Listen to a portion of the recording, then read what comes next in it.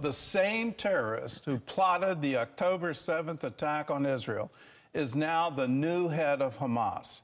And with that, any chance of peace, any chance of the return of the hostages through diplomacy, all of that is off the table.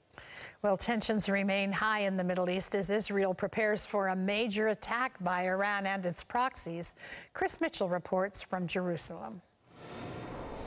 Defense Minister Yoav Gallant told a group of IDF pilots on Tuesday that Israel is ready to defend itself from an Iranian attack.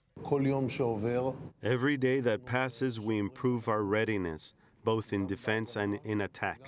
In Beirut, Hezbollah Sheikh Hassan Nasrallah vowed revenge for the killing of his top commander and claimed that waiting to attack was part of his battle plan. Therefore, the Israelis want to end this situation.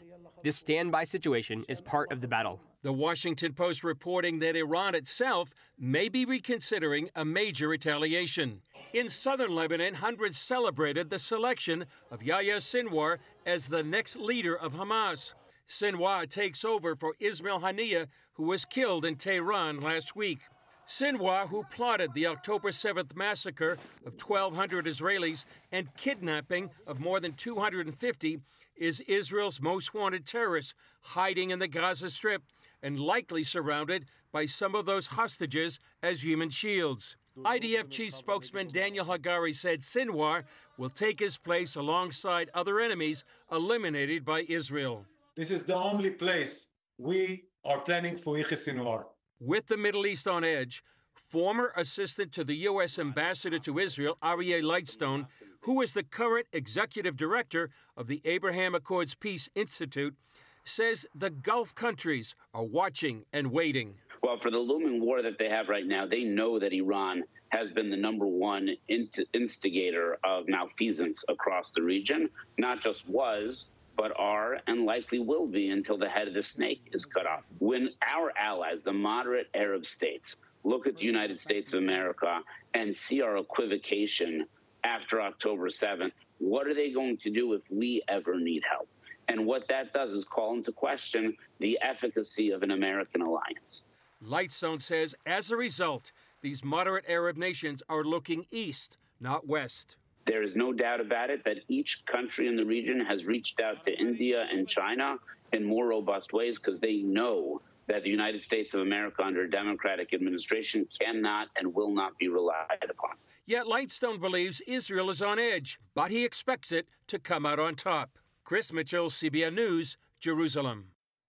Well, our foreign policy is certainly blowing an uncertain trumpet, but what is the, happening in uh, southern Lebanon ought to be a wake up call for us all to hear ch crowds cheering uh, the election of Sinwar as the new head of Hamas. Uh, that's not happening in Gaza. That's not happening in the West Bank. That's happening in Lebanon. So you see the extent of this ideology, and it all goes back to Iran.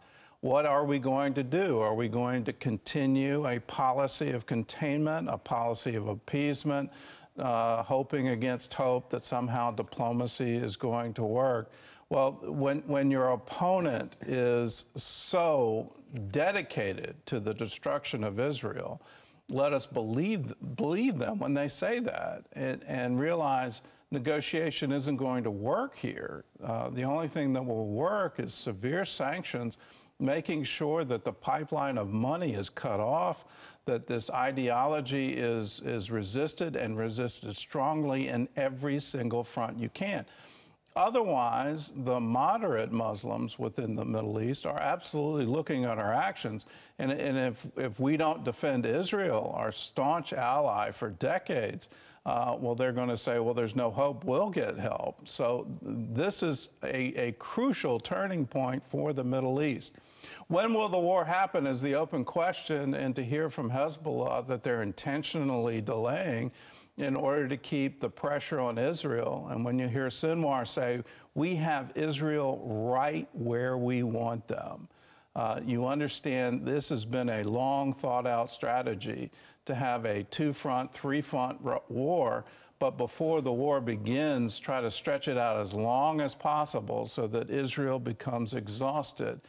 And if they can stretch it out through a presidential election, uh, they probably will, just to see where will the United States fall. I hope on both sides, Democrat and Republican, we come to the realization we have to stand with Israel.